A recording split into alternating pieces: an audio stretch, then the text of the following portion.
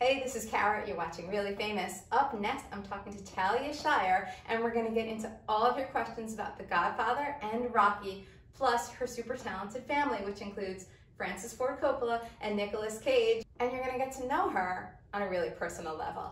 Let's go.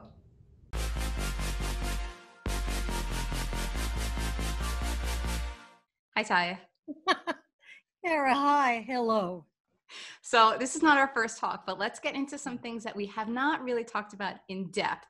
New questions. Number one, how did things change between Rocky and Rocky 2? So, I know things changed. Rocky was a huge hit. So, how did things change for you, for Sylvester, and for the whole franchise? Big question. Uh, Rocky was a little movie. Uh, United Artists put that movie out. I don't think they expected that movie to take off, but it did. By the way, Sylvester believed in that movie, so he knew, therefore we knew that it would be extraordinary, but not at the time of the making of the movie. We were kind of, we were a low budget movie.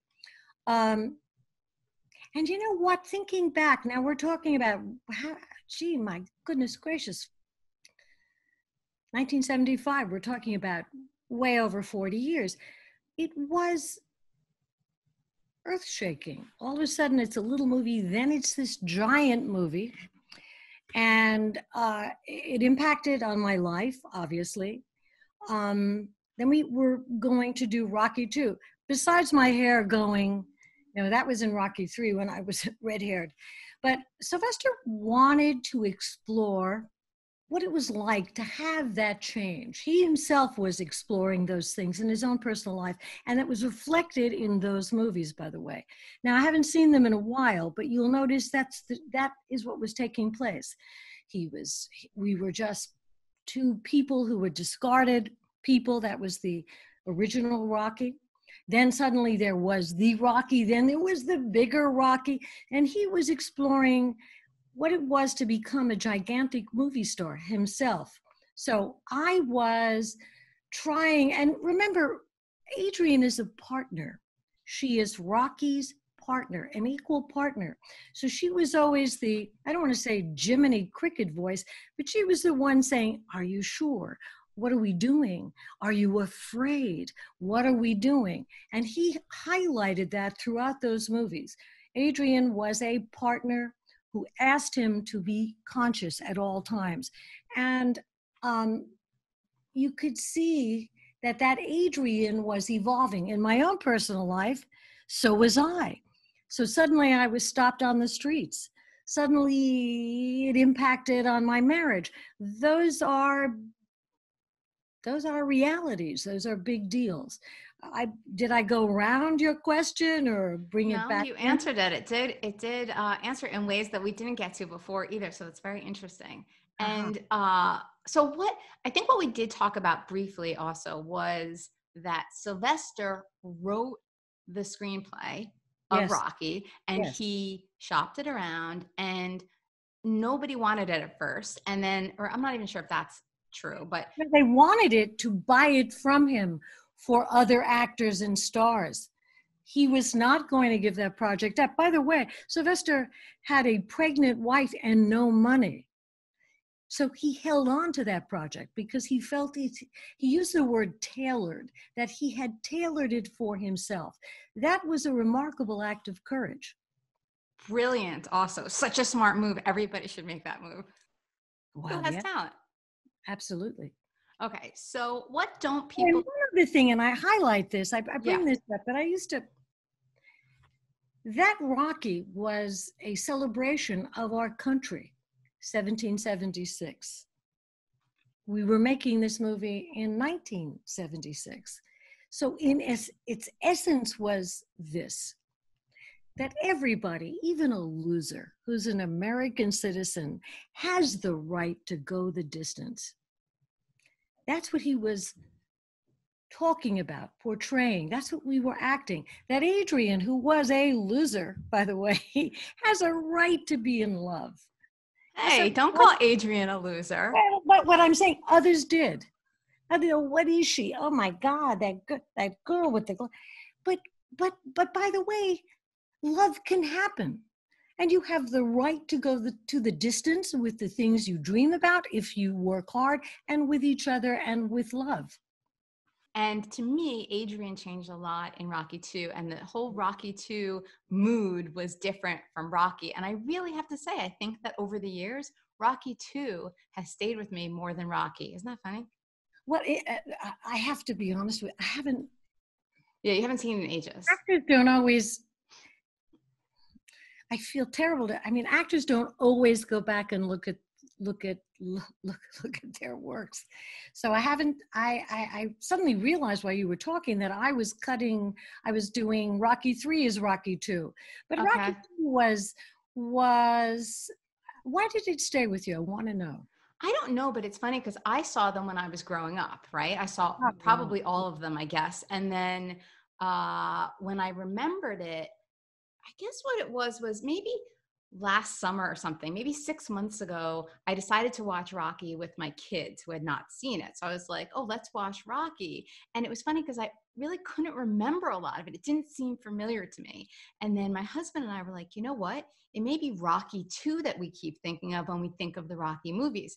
And so before you and I had our first talk that's on the podcast, I was like, you know what? Let me go refresh my memory of Rocky 2 so we watched Rocky 2, and I was like, this is my movie. This is the one that, that I think. That was the one. Mm-hmm. Isn't that funny?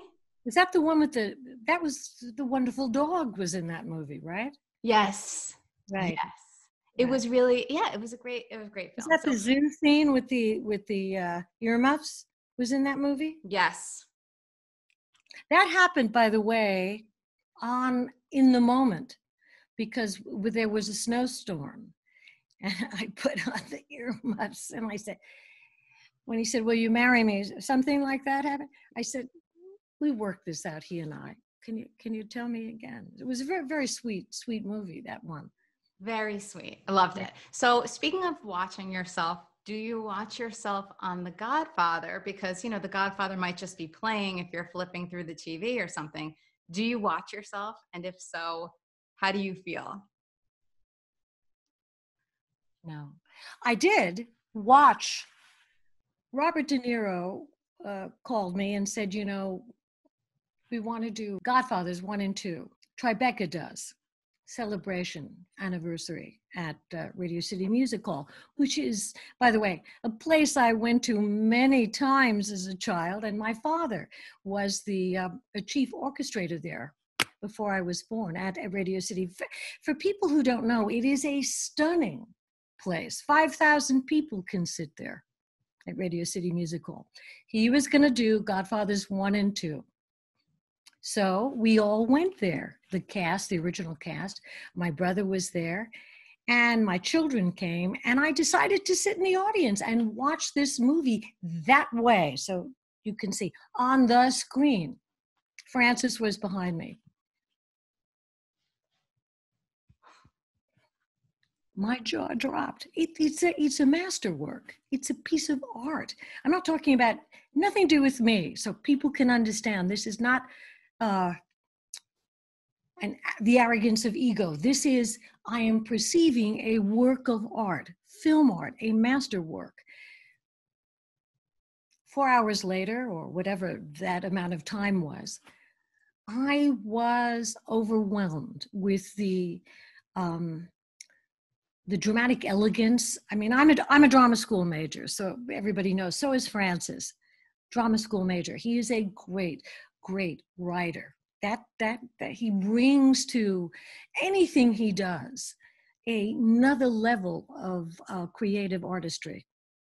I saw that years later. I saw a masterwork, and it, it truly was Francis's masterwork. I, I, think I told you this last time, but I was in the audience that day with my mm-hmm. dad. And right. my dad is a huge, has been a huge Godfather fan his whole life, and me too, probably starting with him. But we went that day. And at first, I don't know if I told you this part, but we thought it's going to be so long. Those movies are so long. We've seen them so much. Why don't we just go? I suggested, why don't, because he's in his 80s, I said, why don't we go to the uh, second one and then stay for the panel, which we wanted? He said, no way, you crazy. So we sat there for, it was probably five hours or something before the panel. And it was the most incredibly amazing experience ever to be at Radio City with all these people who love The Godfather and just watching it on the big screen, which I had never done before. And little did I know that you oh, were this sitting. Was your first experience of that experience, the way it was designed. Yes. So uh, that was amazing. So, all right. So, how about the part of watching yourself on screen? Because you didn't explain that. So, how does that feel when you see Connie yeah, Corleone on screen? I, first of all, I was uh, because that brings other issues into it. Um, uh, that don't that were are not part of that movie experience but other issues of how did you get the job what was going on the the complexities uh, at the time of francis's own uh, security that he wouldn't be fired which was uh, if you heard if you were there that day he spoke about that you know mm-hmm. my goodness gracious he didn't know whether he was going to be fired. And for me personally besides the creation of a character that connie was also oh my god should i have even me personally talia should i have even been on that movie set with uh, a brother who was not anchored in believe it or not? So sometimes I, I you know i could have been terribly in the way.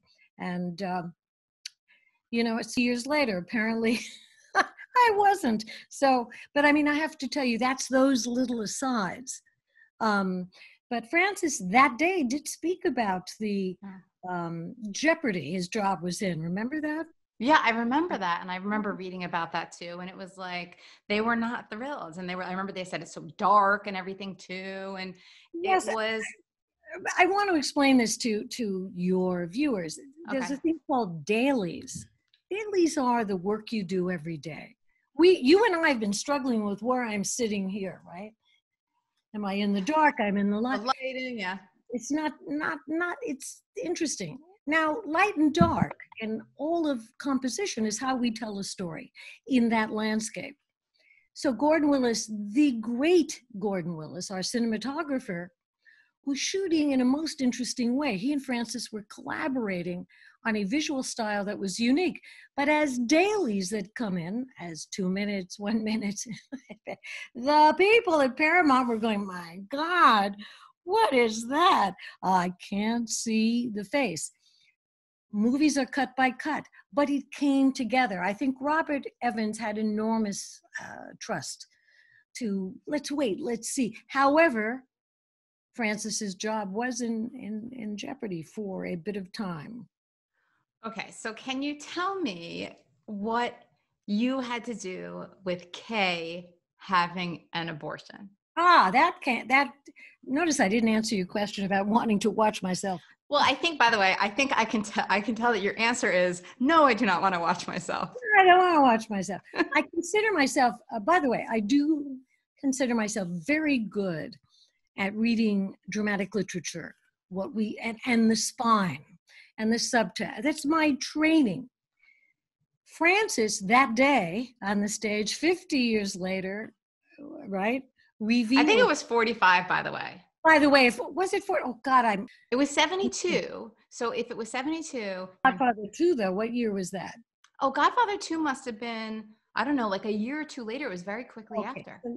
The Godfather 2, Francis, and, you know, brought up, which I was rather amazed uh, we're siblings. There is a sibling uh, world. Rob, he said, "Did you know?" and I'm sitting there. Did you know that that abortion for Kay was Talia's idea? Nobody had known that. I had gone to Francis uh, in Lake Tahoe when we, we were beginning, and I was reading the script, and I said, "You know." Now I'm speaking to you as a drama major, someone who likes writing and why not? What if she has an abortion, which is a terrible thing in one family context, right? but her thinking is how can i give birth to one more person who might be someone who kills horrible thoughts whatever you may think it became an extraordinary dramatic scene for her in godfather two. so he finally acknowledged that that was my those that was my thinking so, did you have any control over, or any, not control maybe, but uh, influence over what happened to Connie in The Godfather Part Two and Part Three? Like, did you make suggestions? what are we going to do with Connie? Because you became so self sufficient. And by the way, this is a fan question. So, self sufficient and powerful as it went on. So, did, were you whispering in Francis's ear? Well, Connie's first of all a very interesting character because in a powerful family of men, she has to be careful. And her life, she's oppressed, by the way. I mean, that's an oppressed life, and uh, it's a tragic life. She has a tragic life, beaten by her husband. He's abusing her, and also angry that they, Carlo, that they, he won't have bigger things there's a setup, there's a beating, her brother is killed, right? Horrible. That's in the book. And quite, God, that's, I, I'm, I'm reflecting on it, awful. In Godfather 3, which Francis calls the coda, it's very separate from 1 and 2. Godfather 3, I finally, you know, had a little more oomph because because I, I tend not to be, di- you know, anyway, you know, okay? I'm careful in how I present an idea um, to any anybody, to anybody I'm working with. I'm very careful. Um, or family with. Yes. So I, he, you know, he had this. I get a. I have to tell you, it's a funny story. I get a phone call to go to somebody who's magnificent with appliances. Appliances are those pieces we add to ourselves. Uh, Marlon Brando had an appliance here. So I was fitted for all these appliances. And I said, because I, you know, and I suddenly had a giant face here and a giant face here. And so I'm thinking, and I, I, I, I called my director, who is my brother, and I said, what, what, this, we were gonna, we were gonna test these. In all fairness, these are make called makeup tests. So this is for part three. Three, excuse me. Because you had three. to look older. Is that why? Well, because it was many years later, and his his concept he thought was more I become the mother, right? So I got fitted, and in The Godfather, he does have this great waltz. Remember the waltz? Mm-hmm. Uh, well, that's really royalty. The queen is dead, long live the queen. The king is dead, long. That's that's royalty. Well, now the mother is gone in Godfather 3. Who is Connie? Is she now the mother? Well, so I got fitted for these giant uh, facial appliances, and I you do makeup tests, and I and as an actor I went and I said absolutely, but I have this idea, right, that she doesn't wear any of that. In fact, because of the tragedy of her life, she is, and in Godfather 3, Michael doesn't want to be in the mafia. He is leaving it. Would Connie want that? I was thinking, the character, after all of the tragedies in her life. So, in a way, on an unconscious level, she was the father. She was reenacting the slick, father, right? She doesn't want to end this, this, uh, this tradition of, of, of their mafia. And she brings in her nephew, right?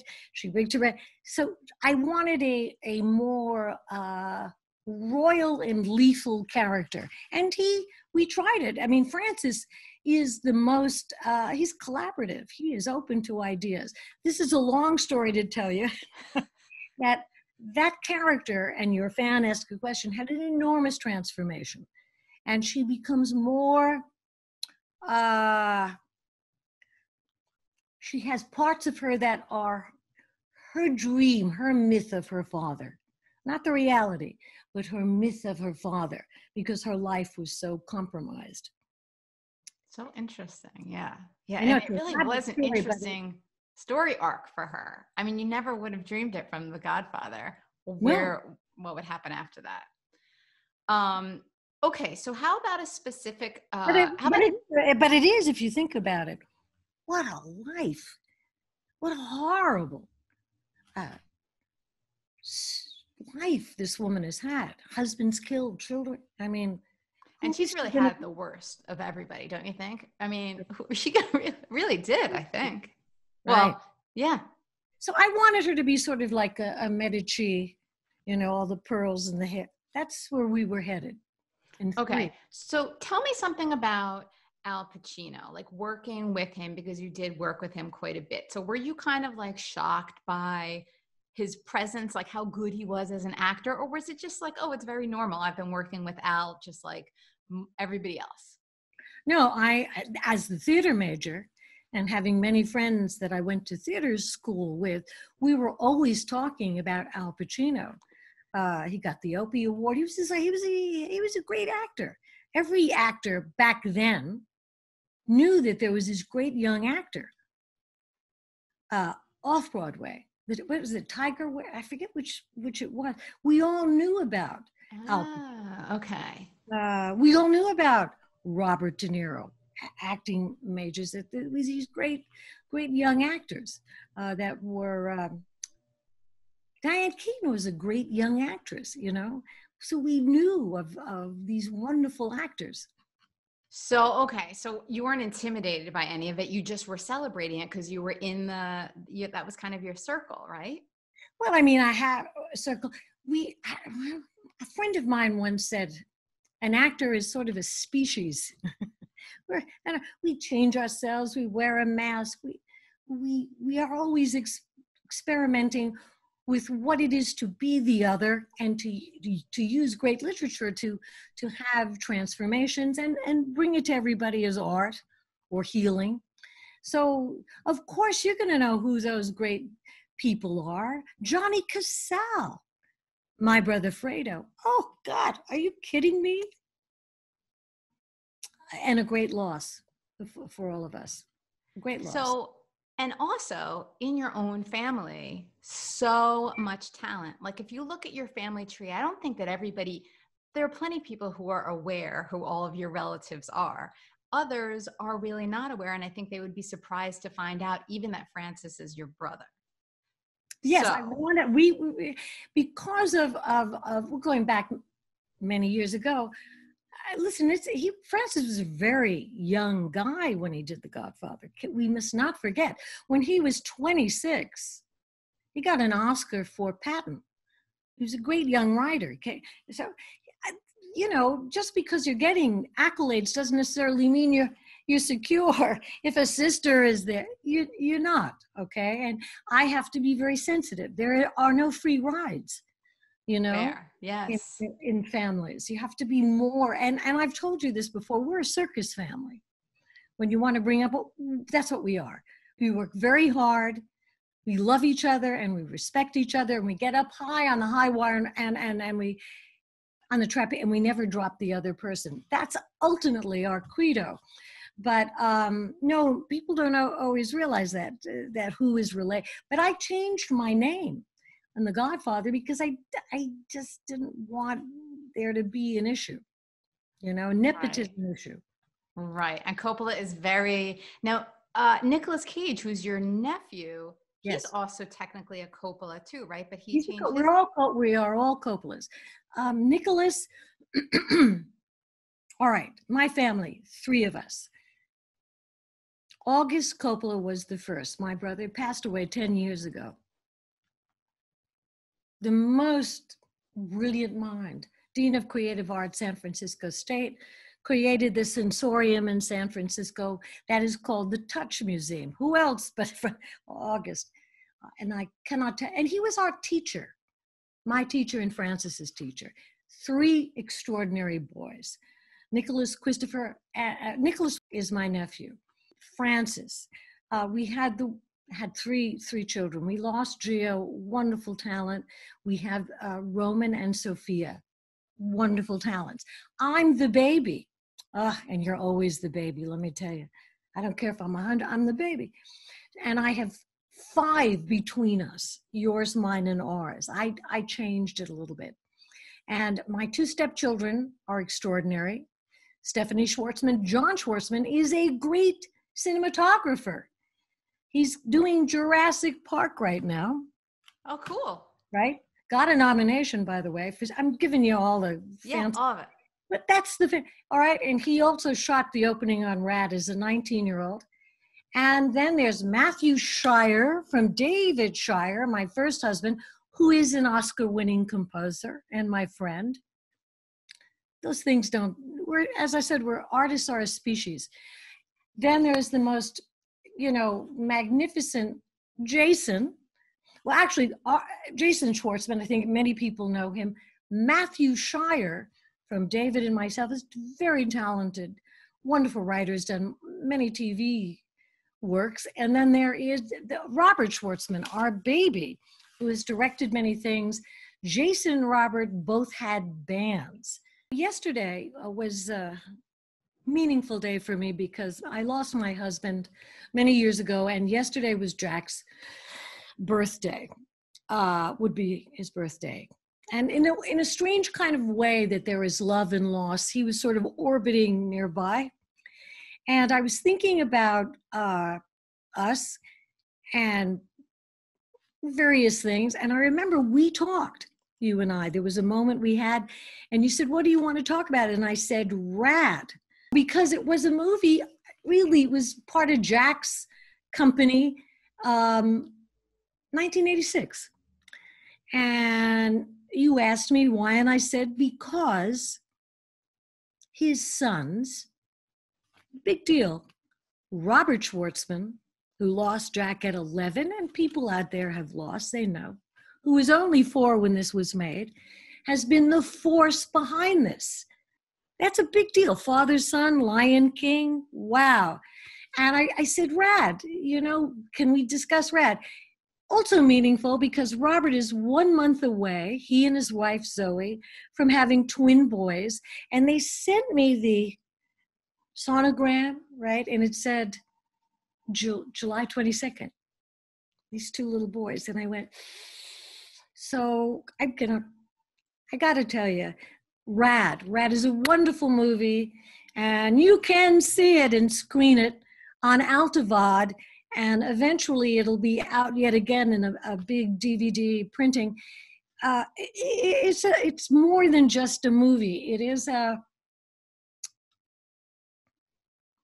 it's a big deal of, of a son and a father and, and a family. And by the way, I'm going to add something too about RAD because after you told me about it on Sunday, mm-hmm. I was mm-hmm. looking it up and whatnot. I couldn't get it yet because it's not re released yet, but it will be by the time this is running. So you on can get it on yes. demand. And yes. your son Robert did. It's been restored, and I believe it's available in 4K, which is like the highest quality, and it's going to look great. And I also did a little more research, and I could see that it's a huge cult favorite movie from the 80s. I think it was 1986. From the 80s. So, mm-hmm. but now everybody should go check it out, and it's going to be available, I believe, on demand rather well, than in. Bought and it had a big DVD printing, but yeah. it will have another one. Restored, you know, being Restored. the metaphysical person that I am, you know what? what I, I, it restores uh, father to sons. That's what it's restoring. So I, I had Beautiful. to say I'm real proud. So we are musicians, actors, writers, cinematographers. What else are we? Cooks. We cook wonderful pasta fazool. That's Italian dish. Um, yeah, it's incredible. I mean, I guess it's not. It kind of you would think it runs in the family because whether it's genetic, or nature or nurture, it's probably both, right? So there's probably all of that together, but you all passed it down in so many ways. It's so cool, really. So Jason also just for difficult. What you're saying is now I'm going to be a mystic. All okay. right, I'm going to shift. There is a kind of passing it down, but there's also kind of genetic karma and karma. And we all have stories, we all have storylines. Mhm. We all have family issues that get passed down. You understand this as a therapist. Our job while we're in this physical body, enjoying our roles in a family, is to make things conscious. By the way, that's what is that's what theater is about. Stories and how things get passed on. But isn't it interesting that I was just saying that to my, my typing it to my son this morning. Look, we have to take certain looks at things because things get passed down. And our job is to become conscious. Fair. Okay. So that you do as part of your acting, that just blends right, folds right into everything. right in. Absolutely. Because this study, if, if I, I mean, honestly, a fan may say, a person who loves, wants to be an actor will say, an actor, what? Well, Artaud said this an actor is an athlete of the heart. A great old French actor, turn of the century, true. But we get crazy because we want, you know, uh, the glory and are we know you could be in an acting company in a little regional company changing the world. I could be using my skills out on the street because I understand how to take a situation, maybe shape it so that the other person, my partner at the fruit stand, may have a moment with me. So acting is is art and beauty, psychology, metaphysics, uh, dance, move. It's everything. And Why I love it. that's why you love it and that's why you're good at it. Right. Because I'm sure not everybody approaches it from all those different angles either. So, Most do. yeah. Yeah, you'd be surprised. We don't talk talk about. Oh, some are their eight by tens. I understand. Scared, you know. We get scared. We get that's the beauty, by the way, of chorus line. If you remember, all of you remember that show. It starts this way. I, did I get that job? I really need that job. It's all about that, and then the expression uh, happens as we we see all these wonderful people. Sure, we're scared. We live from job to job, but the essence of acting and theater, which is thousands of years old, speaks to uh, transformation. So, uh, tell me about freedom and what you think about freedom I love you. res- It's, and responsibility and concepts like that, that I know that you think about a lot because you are very conscious. well, I, I you know, uh, someone once told me, you know, I said, okay, I've, I, I was younger then. I've got, and I kept on saying, I have to get to this place. And he looked at me and he said, but nothing is static. You're a being, it's beingness. We're always in the act of becoming. That's the beauty of being in this body. It's really hard to have this experience because we're, and that's why we we always, all of us, I hope, struggle for the higher part of uh, of experience as we are becoming. All right, freedom. I remember saying, my brother Augie, remember the great professor, said, hey, because he had wonderful students, and he used to tell them, freedom means responsibility. And I used to tell my children when they were children, if you're going to bungee jump, which I'm all for, are you anchored? Anchored. We, we, we don't put that together. We are hearing this in this moment of time, everybody saying, Well, I am free. And I'm, I'm listening very carefully. That's not freedom. We are in a moment in time that is transitional, transformational. We feel it in the streets. No, we have to be careful about being judgmental, but we must evaluate. Those two things are very different. We have to evaluate. And I am all for responsibility, freedom, if it is anchored in responsibility. This could be a great moment in time, a rebirth for our, our country, because boy, this is a great country.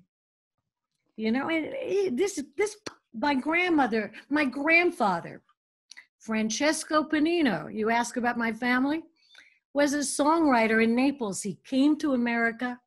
He was the piano player for Caruso, too, by the way. He came here and he wrote a song about the Statue of Liberty. This is a big deal, this country. And you know, it's hard work to be an American citizen, hard work. Hard work. You can't just say, "My, I can be free." No, you have to be responsible. So, I mean, you want it. I mean, listen, uh, you know me. I'm just a mother. At the end of the day, yeah, but you know that is interesting. It is sort of a different take than than I, I really hear now. You know, everybody's talking about what's going on in the world, da, da, in America, but it is interesting, right? It's a big deal, and it's a big responsibility. To be or, an American is right. a big responsibility. Big That's a good point. And you have the right. That's what Sylvester was right to go the distance. Okay, let's do this now. I just want to ask you a few questions. We'll pivot a little, and I want to ask you some general questions about life. You know how our podcast was? We just talked. And, you know, I did ask you some questions about The Godfather and Rocky and life or whatever, but a lot of it was just us naturally going wherever we went. Just like our phone call that was not recorded the other day and our just our good friendship phone call. So oh, I love really a real friendship, a real intimacy uh, between us. I, I, I, yes, I love it. I'm thrilled about it, and I had a great Sunday afternoon talking to you, with you, back and forth, so equal, back and forth. You know what I mean? It's it was wonderful, um, and that's just the way that we are. So what was my point in this? Um, we have a, a, a, good flow here, you and I. Mm-hmm. Always. And it's appreciated by me to you. And by me to you. I receive. Big problem for me. I'll receive. Okay. Oh, is that a big problem for you? Well, you know that. Well, you know, there's exhaling and inhaling, and the interval between. But you could say there's giving and taking, or giving and receiving.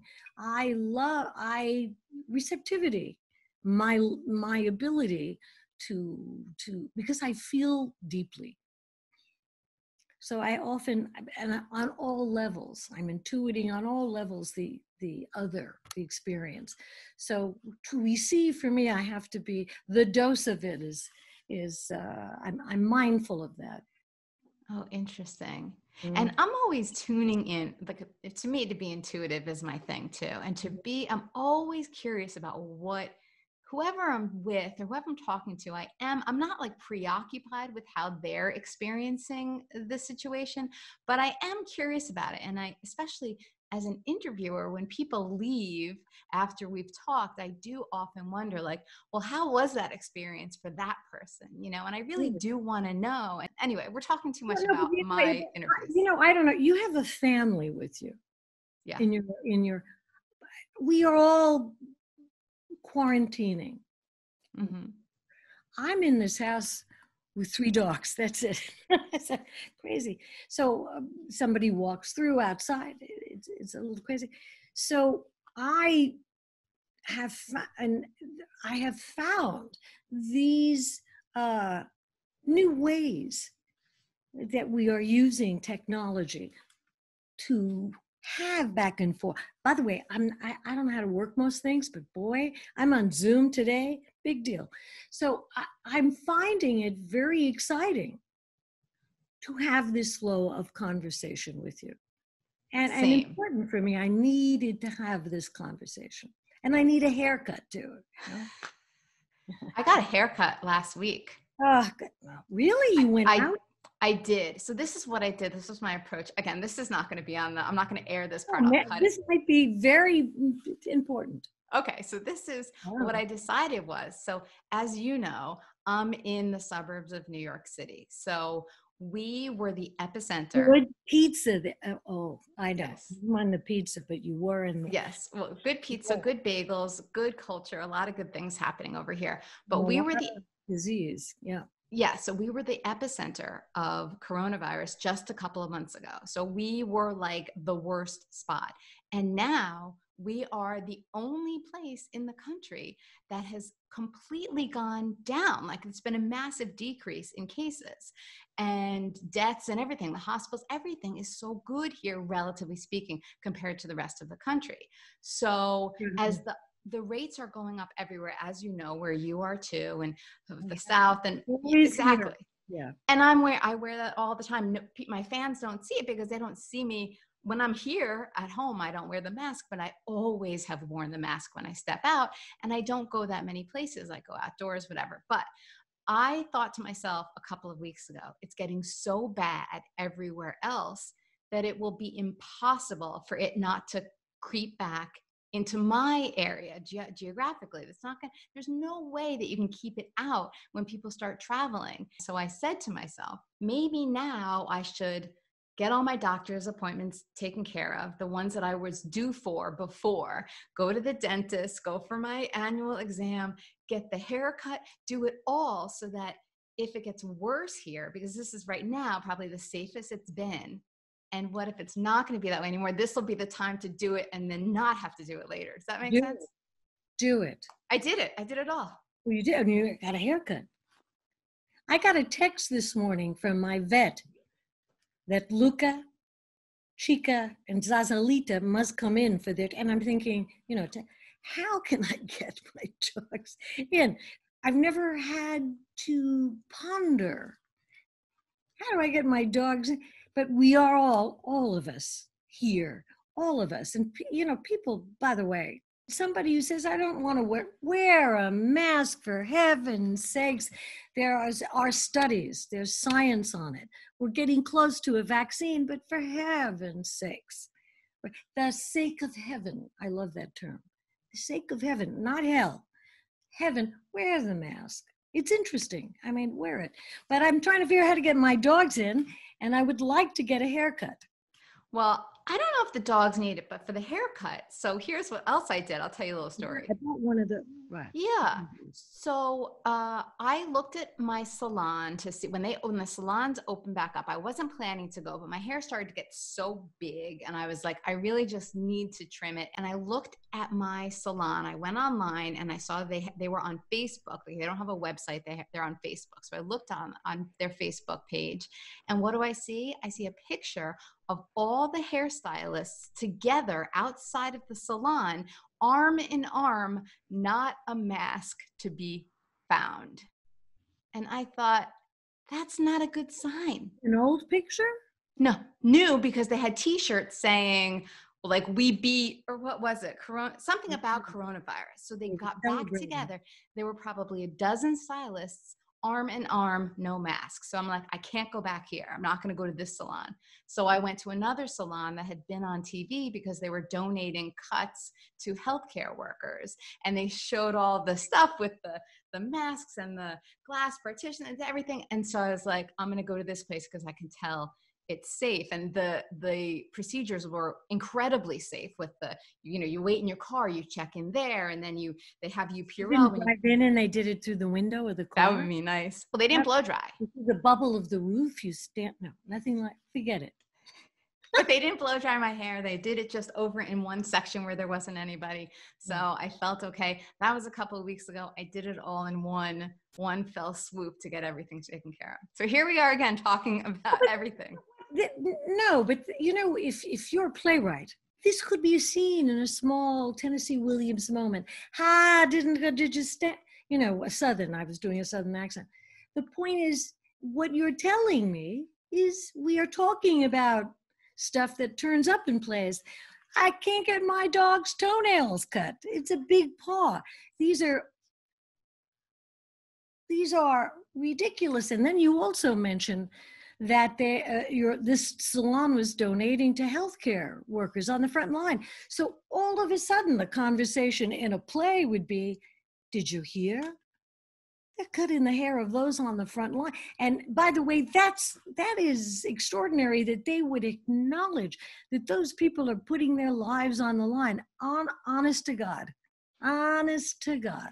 It was great. I loved it. I'm like, this is all I needed to see. You're right. Absolutely. And no, but the- I, I'm in our playwriting scene because that's my point of view. Is I bring it in through through drama and text and I write it down is what you just shared with me is fascinating. It's and life. that you picked a place that made donations to those people who really are saving lives. Big deal. That's right. That's right. I mean, for me, there are many acts of kindness and respect that I'm experiencing. How about you? Are you yeah, getting I would say so too. Um, you know, I'm not out and about that much anymore. I'm always home, right? So- yeah, and I'm with the dogs. yes, but you know what? It's funny because this is like not even um, big human contact, but I noticed the other day that I feel like I've gotten better customer service from certain companies. This is so weird since the pandemic began. I'm serious. Yeah. Like I've had a couple things where I had to call a company for one reason or another. One was Zappos, and I was just returning a pair of shoes, and uh, uh, the other one was like Shutterfly. I had problem with the mug. You know, this mug that I was that I got done.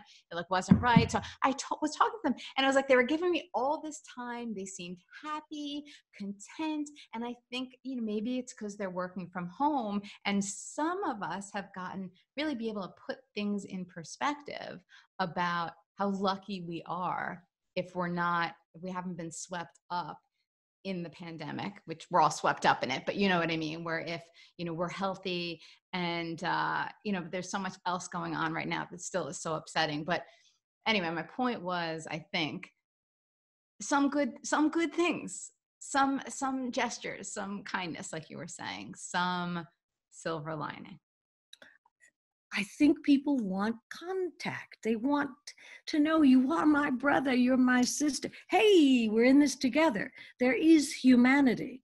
Uh, so I feel uh, it's awful. People are dying, losing their businesses. I mean, it's. I have to. I have to know that. That's anchoring in certain realities. But I have to see the celebration and or celebrate the humanity I'm also experiencing. And and can I see your cup again? I don't. I you popped it up. Oh well, okay. They really did a great- famous I think they did a great job. It's kind of the moon or the sky or So they did a good job, um, but the problem is, if I'm going to try to help you see it, is that it's not I saw- even. It's not even. So if I hold it up, like the logo is a little far off. So some people, I had a picture on my Instagram the other day of me with this mug. I was like ch- saying cheers to everybody. And then a lot of people said, I've got to have one of those mugs. So I was like, oh, okay. So maybe I can get more of these mugs and sell them. So I I but I wanted them to be um, lined up better because the logo is just kind of too far off. So I wanted to make it better. If I'm going to charge people for a mug, I want it to be perfect for them. So I ordered a few. I had the the woman at Shutterfly kept trying to change it herself. So she spent like I'm telling you, probably 45 minutes with me on the phone trying to get the design She's right. trying. She's trying. A human Yes. being is behind that voice. Yeah. And aside, a digression. The first Rocky, all kinds of mistakes because of money. So Sylvester stuck on a, I think it was, uh, you know, what what do you call when you go into the ring? One of those satin. Yeah, yeah, like a robe. But it, the the the logo or his name was in the wrong place. It kind of dipped down low, and it was in the wrong place. And we laughed after we weren't so happy. But it was one of those imperfect moments that lives in that first Rocky that, that accumulates into this unique piece. So I like your logo. I feel what you're saying. I'm gonna go with it. I totally get you. It's offbeat. Leave And it. then I can put a thing, a stamp of approval. Talia Shire approved. I said so. I love it. I do actually. It's actually beautiful. I'm gonna send you. Do you want me to send you one? Yeah. I'm gonna send you one. And I'll tell you why I like it because it's it is very much, you know, the moon is if or is the considered the feminine principle, those celestial archetypal things. Anyway, so it's kind of the moon, but it's also the sky, and it's also a porthole on a long trip, and it's kind of beautiful. I like it. Leave it. I love it. You're gonna be getting one of these. So this is perfect. I think that's a perfect place to end, don't you? We'll end it. If you like this Talk with Talia. I think you will love my conversation with Danny Aiello, who is also in The Godfather. Do you remember? He even contributed a line that was not part of the script. You'll hear all about that and a lot more. And if you want to catch Rad, I will put a link down below. Thanks for watching. See you next time. You know, they say acting is being private in public. So we are having a public thing, but this is private, right? You are my friend. I so appreciate you. I feel exactly the same way. If you like this video, please make sure you smash that like button and tap on subscribe for more real talks with your favorite celebrities. If you didn't like it, that's okay. Make sure you tell all your friends to check out Really Famous with Kara Mayer Robinson. They're the worst videos ever. You've got to check them out. Thanks for watching. See you soon.